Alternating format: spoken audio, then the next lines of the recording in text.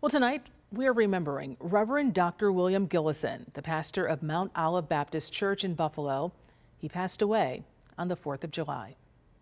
An influencer, the Reverend Dr. William Gillison knew his worth while living. We have to wake up as a people, take responsibility, and begin to also not invest within ourselves, but invest in the, in, in the generations yet to come. Invest in children and a community. It's why he was always at recent press conferences about education.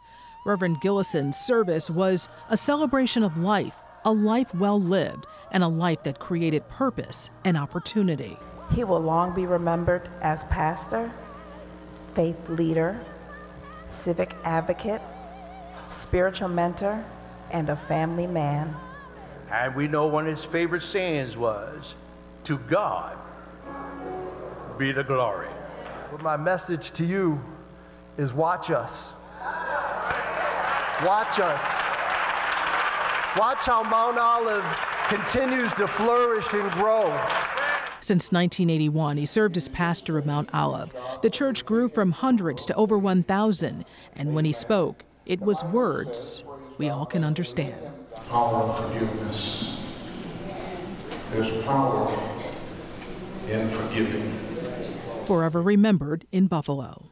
I can talk to you all night about the giant of a man, William Gillison. Rest on, Pops. Rest on. Well done. Well done. Reverend Gillison was 79 years old.